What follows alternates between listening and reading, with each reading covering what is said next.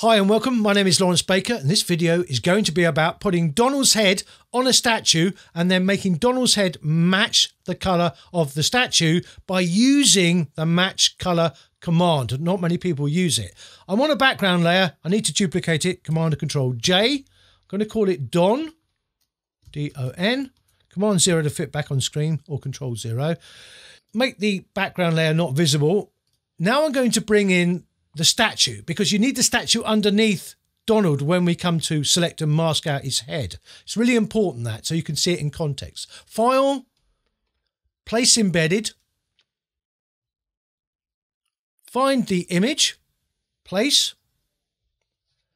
command or control minus if you can't see the bounding box, shift key kept pressed to constrain it to its current proportions so you won't affect the aspect ratio. And the alt and option key kept pressed as well. So I'm coming out from the center from the reference point there. So that'll do.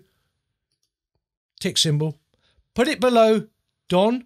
It's a smart object. The only way I can do a pixel edit is by double clicking here. It creates a temporary document there. Come and make the edits. Command and Control W would save them, then you'll go back to the image. But with a smart object you cannot paint on it, I might have to rasterize this layer later. Let's mask out Donald. W for the quick selection tool, so it, it must look like that. Select subject, does a reasonable job. Make sure on the minus brush and it's large enough, right hand square bracket key going to make it larger. Just go around like that to make sure we're not bringing the shirt or the badge in, his tie or anything, a bit down there as well, and a bit on his shoulder I can see down there, and a bit on that shoulder there as well. I think that's okay. Select a mask. Command 0 to fit on screen or control 0. Now the edge in this context here with edge detection means a border around the edge. So if I went to the refine edge brush tool and click show edge, it'll go dark because there is no edge round the edge. That doesn't make sense. But when I put the radius on, it will. So edge in this context is about a border saying to Photoshop, will you re-evaluate these areas? Because I don't think you've picked up all of the hair. Now, Smart Radius will do this. Where there's a definite demarcation between the two areas, you know, two different changes of color or luminosity, it doesn't need to be so wide, so Smart Radius will make those areas narrower, but where the hair is, try and keep them wide. Now, if I take the show edge off, you'll see what I've done with radius. I've brought a lot of stuff in I don't want, red colour, etc, etc. I could bring the radius down to something smaller, even like three pixels or something, which I might do by the way, I'm not going to bother using the Refine Edge brush tool, which does exactly the same thing, except you're controlling it with the diameter of the brush. But I don't think I need it. I could quickly go around here and just do a little bit and see if it does it any better, but I don't think it will. Basically, I'm going to use the brush tool on minus to take out these problem areas because I don't need them. And yeah, I don't need them at all. So I know this is not the right way of doing things in some ways, but people always pick very easy images to do masking on, and I don't. I pick what I like, and I think, well, I have to go along. I don't want that dark bit there because I know that might cause me a problem, and that dark bit there as well. So I take off some of the hair there. Alt or options should swap between the two brushes, but it doesn't seem to be working at the moment, so I need to bring that out a little bit more uh, around there probably. Uh, and then minus again on that few bits there uh, Control Z, it's a bit too much. B for brush, make the brush a bit smaller. Or should have been on the outside.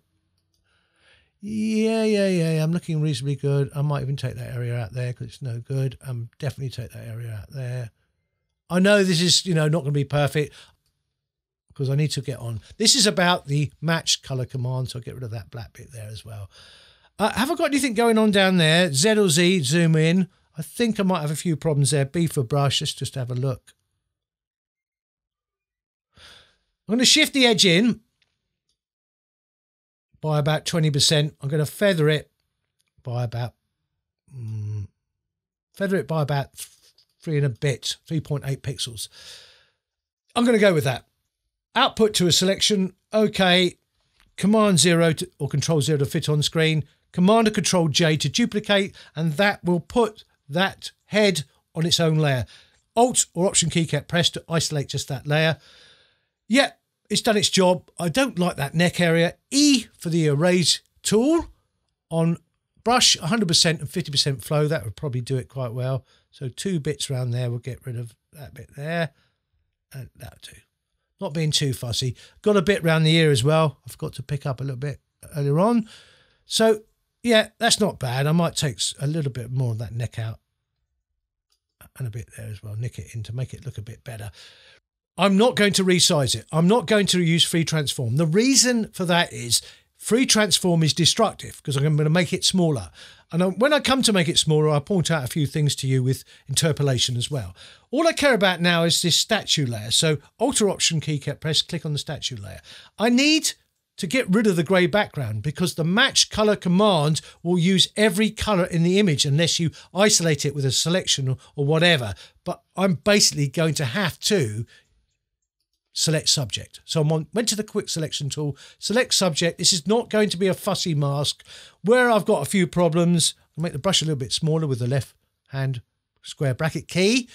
And I'm on minus. I'm just going to add these few bits in like that.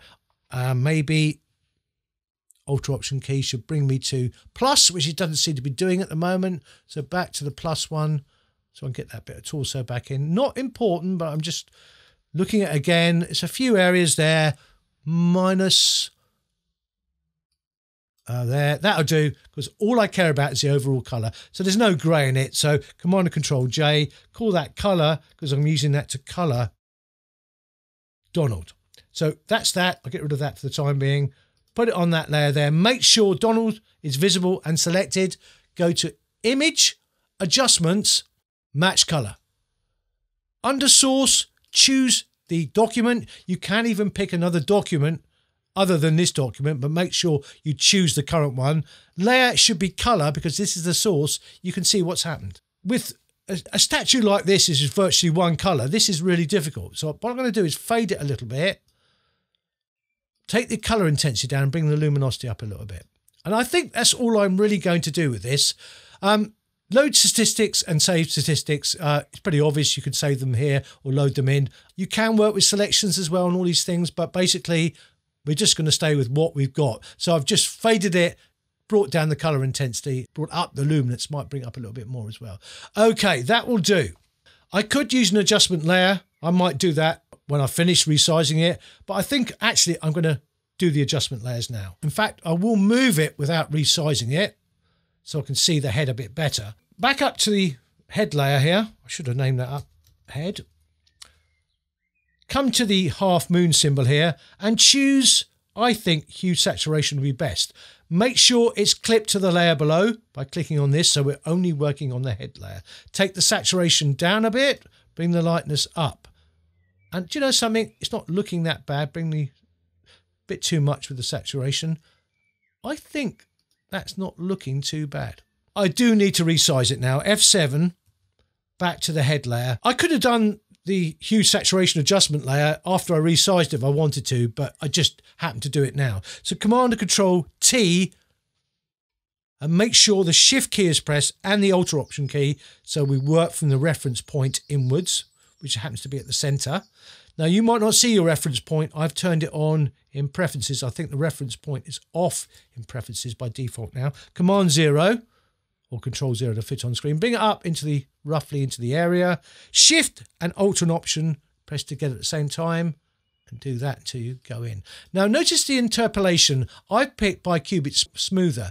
If you're on bicubic automatic, which most of you will be on, it will pick when you go down sample bicubic sharper. I prefer bicubic smoother. That's my choice. Right, so let's bring it up a little bit more and say, does that look about right? Slightly smaller. I can use these measurements up here, but shift, Alt Option, just a slight bit smaller. That, that's it. Move it across. Move it up. I'm using the arrow keys now. Shift and right. One, two, three, four, five. I think that looks okay. I'm going to bring it down because there's a very dark edge on the statue there. Just bring up a bit more there. And that will help me when I come to match the colour up. Let's turn that colour layer off. Let's go back to the statue layer. I'm going to rasterize it. Let's get rid of that colour layer as a matter of fact. Right click, rasterize, so I can do pixel edits on it. Clone stamp tool, S on your keyboard. There it is.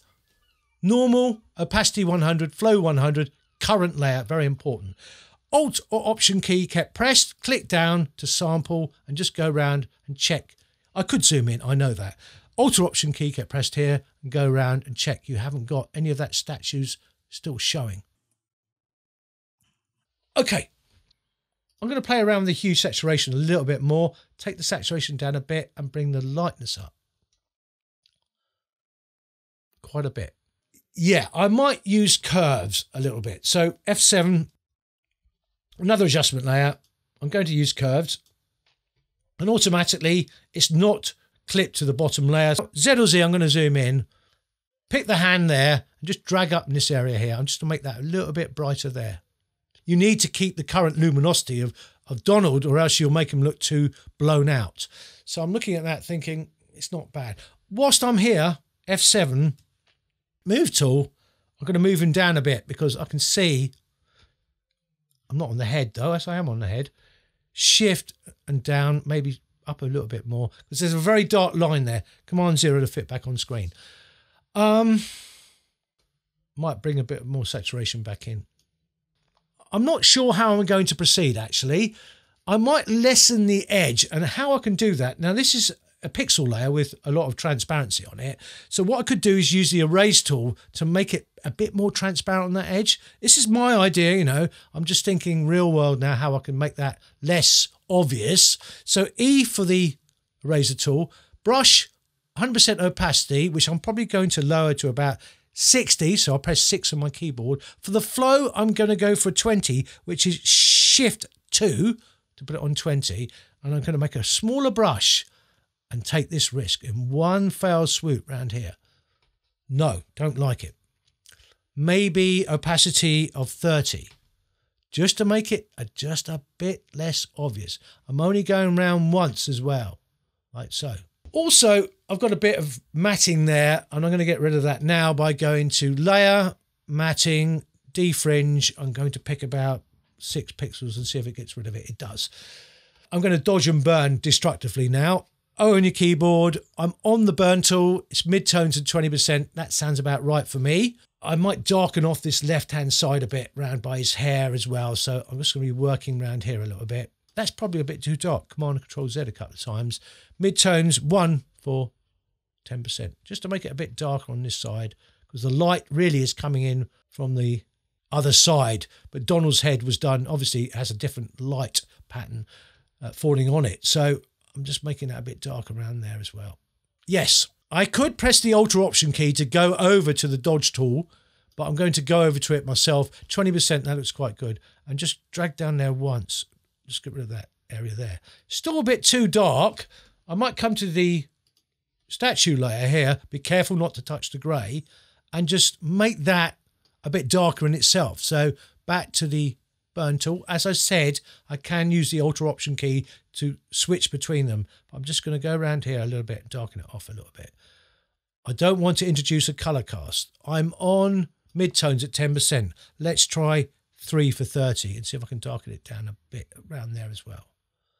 Now, on Donald, back to the head, I'm going to make it a bit lighter there. I'm on the burn tool. I need to be on the dodge tool. So I can press the Alt Option key, as I keep saying, but I'm going to pick the dodge tool. It's on 20% exposure. So I'm just going to quickly lighten it up a little bit around there, just a little bit.